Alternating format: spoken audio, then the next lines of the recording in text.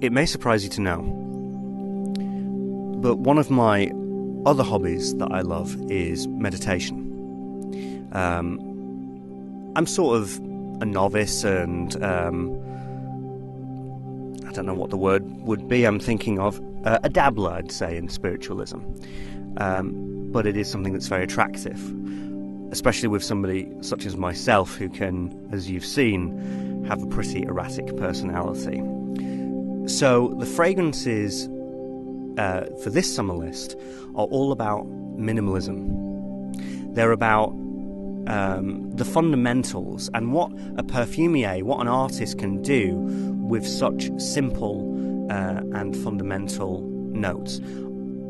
I think it's fantastic. You know, I love my uh, gargantuan, big, elaborate, crazy fragrances. Who doesn't? You know, uh, Jubilation 25, which has got about 7 billion notes, or I don't know, most of them Mancera's. You know, these incredible, um, epic uh, fragrances. But I think that a note of a true artist, um, in any art form, somebody who has truly mastered their craft, is somebody that can take um, either one note or one idea, something very simple, and then make it um, perfected. That, to me, is a sign of true mastery in your art form. It's a cliche to say, um, oh, this was a very hard list to make because all of them were, you know, um, all of them were so um, good and so brilliant that it was difficult sort of placing them in order. But and that is a cliche, but that's actually true. My number nine on this list, I, I swore it was going to be in the top five. But that's great. I'd rather have a list that is so compacted with quality um, and enriched with uh, so much that it's actually quite hard to uh, put them uh, in a row. But I have done so, and we're going to start off with number 10. So, when it comes to uh, simplicity and working with the fundamentals, one of the best houses to go to is Acqua di Parma. Uh, by the way, number 10, Acqua di Parma Colonia Intensa. I will get to that in a minute, but let me just speak a little bit about Acqua di Parma. Um, this is probably going to be a, a, a, long video because I really love the fragrances that I've got here, and I've got a tremendous amount to say um, about uh, quite a lot of them really uh, impassioned uh, stories and ideas I want to give to you. But um, so uh, strap in.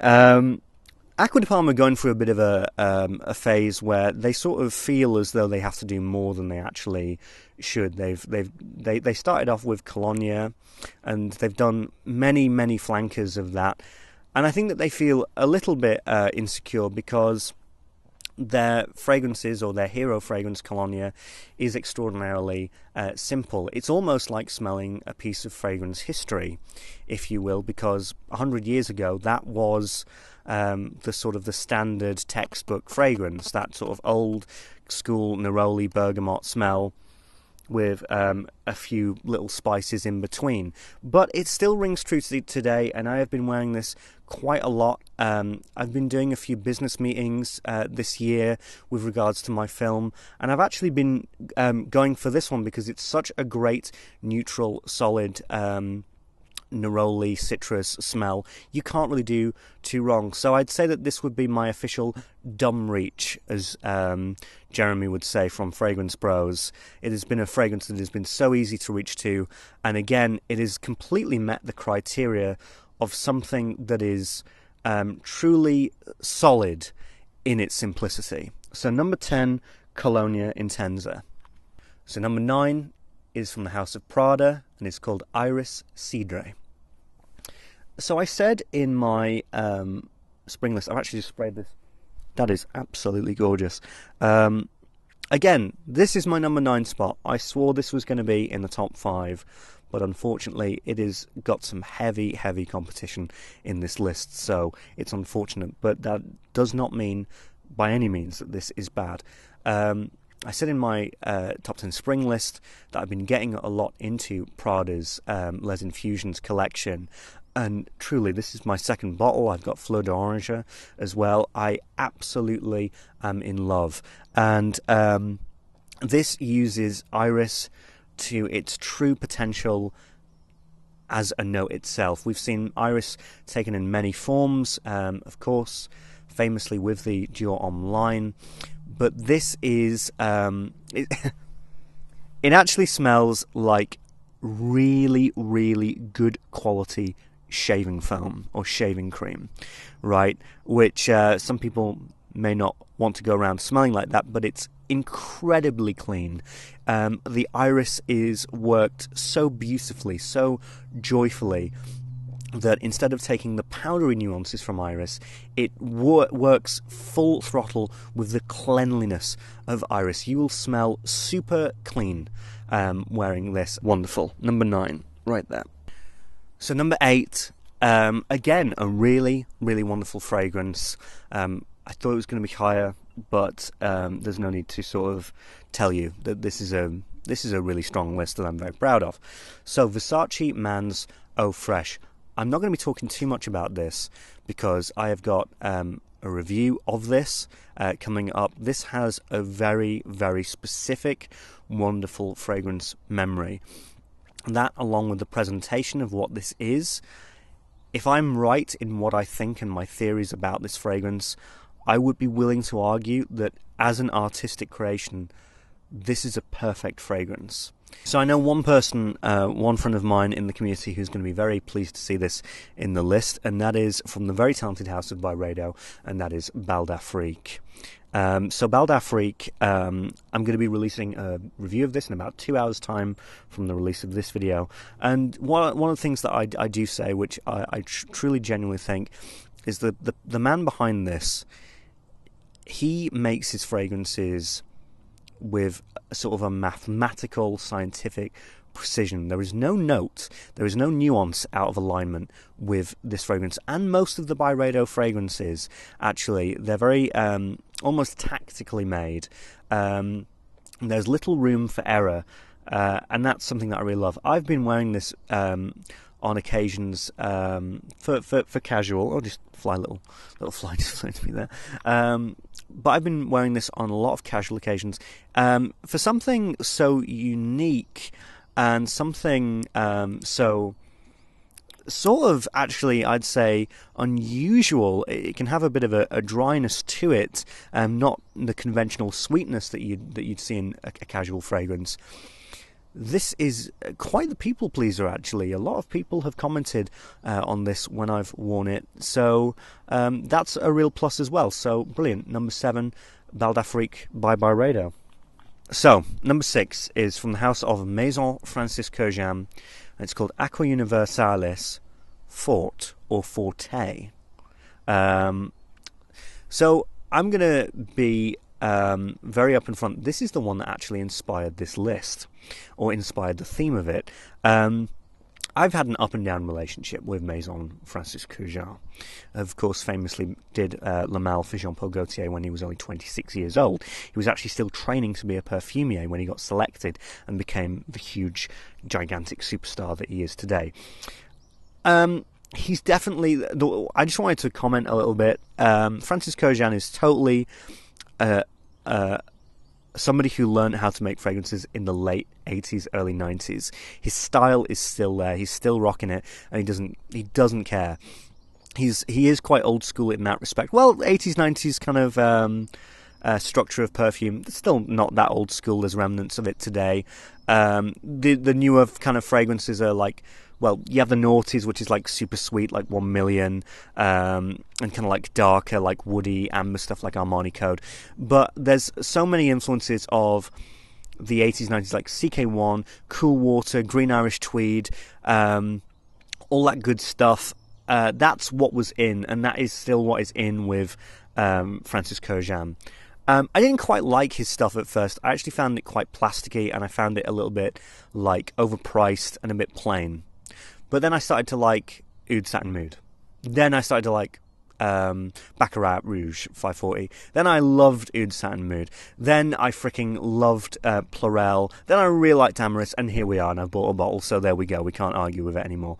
Um, this one truly is, again, one of the things that I loved about it is that he is a, uh, he shows in this that he is a master of simplicity. He is a master of taking the fundamental elements of what makes fragrances good uh, and, and popular in the aquatic sense and just turns it up to 11, pushes it all the way out, and he's made this. Also, the oil content is tremendous, right? When I um, when I spray this, I mean, I feel the oil. I feel the oil spillage onto my skin. It's uh, there's a lot of oil in, in his fragrances. Um, he kind of reminds me of Christopher Nolan, who refuses to go digital. He always wants to put it, you know, go with film. Uh, Francis Kurkdjian, similar. He doesn't really want to use too much alcohol or too much synthetics. He loves his oils. So I was really influenced by this. I've been wearing this a ton. It's really great. It's so simple, but there's there's there's artwork in here. You know, there's real ideas in here, and there's real structure. Um, it's a a beautiful piece. Um, he's def- definitely his best, I'd say, from the Aqua Universalis line. This next fragrance is one of the most beautifully presented uh, fragrances I've ever seen. It's from the La Matière collection of Guerlain, um, and it is called Rose Barbare. And um, so let me just tell you this I don't like rose. I think it's such an insipid, awful, um, kind of kind of sour note that I don't like. I think it's such a cheap um, idea um, to make a fragrance out of rose. I don't think it's done very well. Even some of the oud rose combinations I have problems with. I, I hate every single Stella McCartney fragrance I've ever smelt. Who's obsessed with using rose in her fragrance, but this is when I first smelled this, I, I thought no. Like I, I I shouldn't like this. This is against what I what I believe in on a spiritual level. But that is truly brilliant. It might be unusual, uh, you might think, for uh, a summer um, uh, fragrance, but I've been using this on at night times. I've been using this going out, going out for meals, um, sunsets, um, twilight. Um, that time of the evening, this has been a real gem for me. This has been something I've used um, concurrently. It's it's got enough to it. It's got a bit of um, it's got a bit of water within it. It's got a bit of an an an, an aquatid. I don't know if that's a word. An aquatidity. It's got a bit of aqua in it. It's got a bit of clean water within it. That means that um, I could wear this in the day. I choose not to. I usually wear it around about the night time.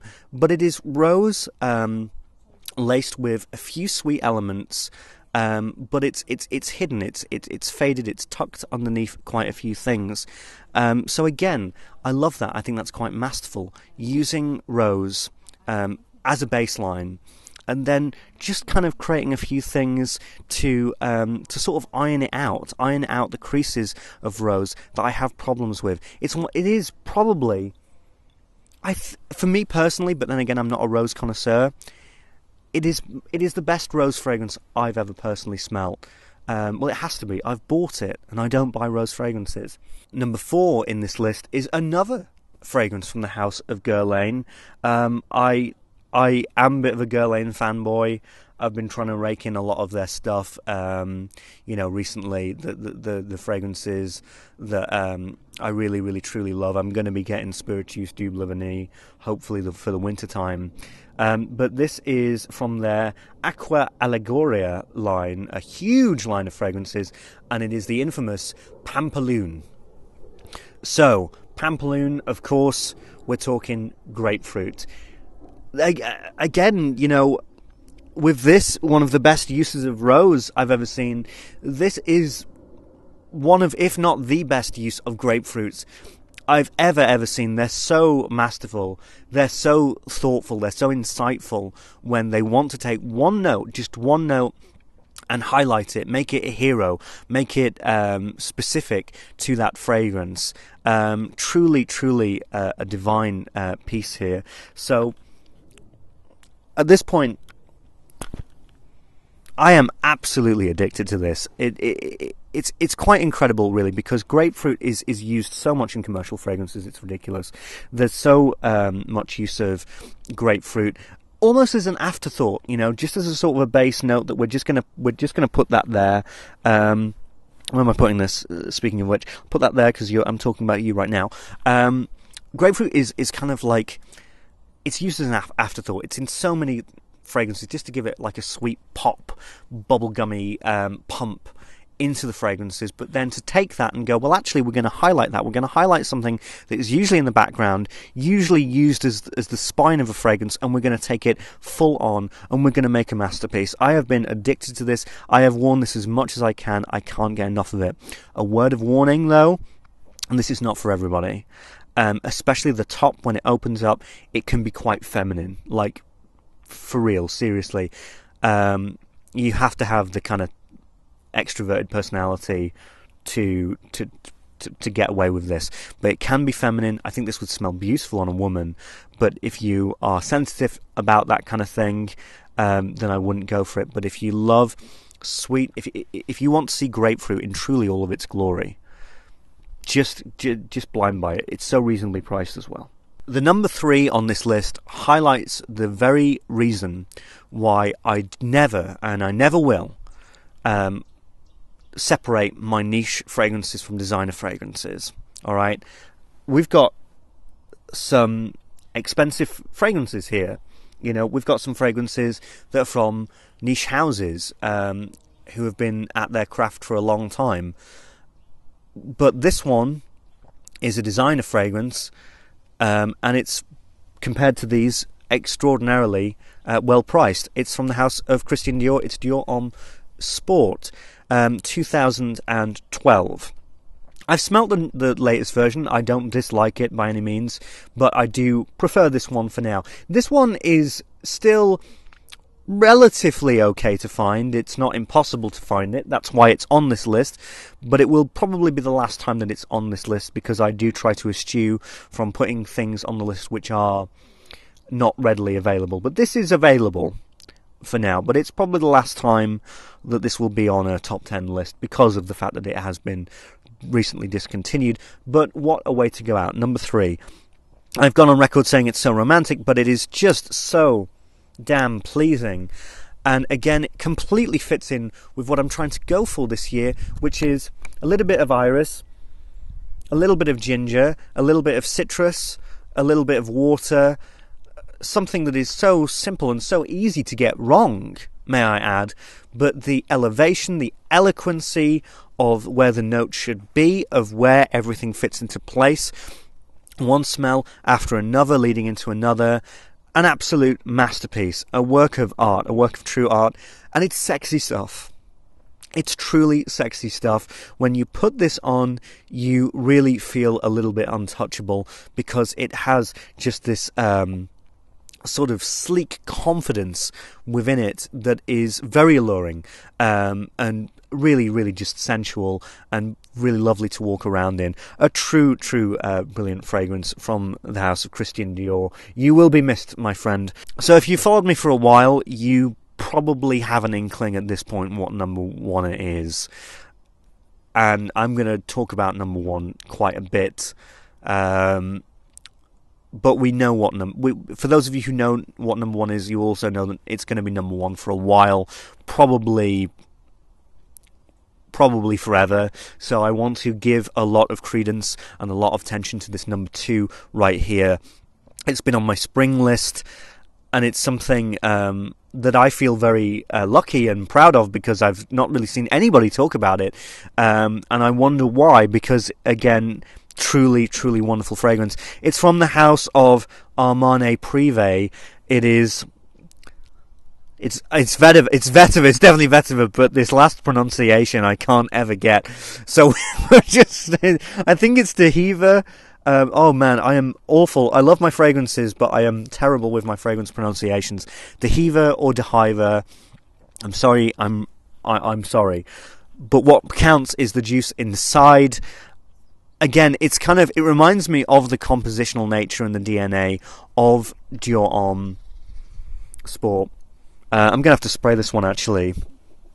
Um, I've been I mean I've been wearing this so so much. Um, oh man, this is um, so so one of my one of my most popular videos, strangely, I don't know why it is. Um, I don't think it's a very good review actually. It's it's Vulgari Man Extreme, and I loved that fragrance. I loved loved loved that fragrance. Um, it was my summer number one at one point actually, back a million years ago. Uh, it's a great fragrance. I still ha- own a bottle of it, but if you are a fan, if you if you've watched that video, or if you want to know my thoughts on it, I'd say it's a great fragrance. But this is it. This is the daddy right here. This takes what Vulgari Man Extreme did with the concept of the vetiver, relished with these um, beautiful. Um, aquatic, kind of like almost like like like like kind of like wet greens in a way, um, and that's probably the vetiver actually enriched with um, a watery note. This takes it to another level. Um, and also encrests it with a bit of orange, like an orange juicy um, kind of a, a, scent. It is absolutely outrageous um, how good this stuff is, and the compliment factor is insane. Again, I'm not somebody who goes into compliments that much um, with this anymore. Um, I did certainly back in the day, but now I, I don't really care. I just I'm passionate about the art form as itself. But I I got to say that if you're wanting a a compliment, um, if you want a compliment, uh, if you want a fragrance that has a huge compliment factor, um, and also is incredibly crafted, then definitely, definitely go for this. I should definitely do a review on this. There's so much to say, and it has been, in my opinion, poorly underlooked by the community. If you're interested, I'd definitely get a sample of this because for me, this is truly. Um, one of those fragrances that has that it factor that we always crave. But my number one is um, a fragrance that I truly live and breathe by. Um, it is a it's a fragrance that um, I have trouble wearing because I can get quite addicted to it to the point where I can some I can I can leave out the others. I've been fair this year. You know, I, have won all of these. I mean, this is a truly wonderful list. I, am so uh, happy and humbled and enthralled that I've got to um, wear all of these beautiful creations. Um, I'm gonna um, speak a, a quite a, a, little bit here about my number one, uh, and also about the way that I process uh, some of these things as well. So it is from Creed. Um, it is the one, the only uh, Impérial. Um, I mean, uh, I, I, I, okay. So, so, so this is what you got to imagine, right? If you've never, in fact, I want to just say something, right? If this is your first ever fragrance video, um, you've never seen any fragrance videos before. Um, I'm not like everybody, and that's that's fine. If you just want a normal sort of like chap, um, uh, just kind of like saying, "Oh, this smells nice and that smells nice." You can find those people; they are a plenty. I go a bit kind of mad and kind of woo-woo with this stuff at this point, um, five years in. Um, so before everything, before I'm about to kind of divulge and say what I'm about to say about this fragrance, I just want to say that it also does just smell nice. You know, this fragrance is just a pleasant, it can be seen as just a really pleasant fragrance to wear, but I see it um, as so much more than that so here's what I want you to imagine right now. Uh, you're on a beach, right? Really beautiful beach. It's the sun is shining. It's incredible. Um, to your left, you f- feel and you hear and you smell the sea, the the ocean bed, and you get some of the marine um, notes, and you get the sea salt. It's quite a, a, salty ocean, so you get the sea salt quite heavy. And then to your right is this huge engulfing forest. It's like you're on a like a, a hidden island or something. And in that forest is beautiful ripened fruits. Um, they're so ripened that even the skin and the flesh is um, is perpetuating uh, so much scent. So, like oranges, uh, lemons, um, maybe even um, a watermelon that's been cut open in the distance. Maybe who knows? And you get all of that, and you put it all uh, together, and you get uh, Millésime Impérial. But there's so much more to that because when I smell it, it's so rich in detail. It is like a painting to me. But what painting is it? right? You can have that beautiful pastoral um, island that I described, and it's wonderful and uh, fully saturated with colours. But you could also, I, I could also see, um, because of certain elements in it, it be also, it could be a melancholy painting. it could be a bit of a bittersweet painting. I could also see um, like it's twilight at the ocean, and maybe there's like a a little sort of boat or ship, and there's like an older gentleman, and he wants to go on adventures. He wants to visit the island that I described, but he sort of can't. Um, there's a lot of imagery. There's a lot of vividness within this that I have I have gained from so many years of wearing it. Truly, um, uh, there, there's a lot of different emotions that can go into uh, interpreting Bidial, and it's a lot. And it, I would always argue that it's a lot more than just a nice watermelony scent that doesn't really last. You know, which some people can be very quick to um, label it and judge it. I am past that. It is so much more. It is truly um, a beautiful, wondrous um, masterpiece by Olivier Creed, and I would expect nothing less uh, from him. He has devoted his life to the art form. So that is it. That is my number one. Maybe a little bit predictable.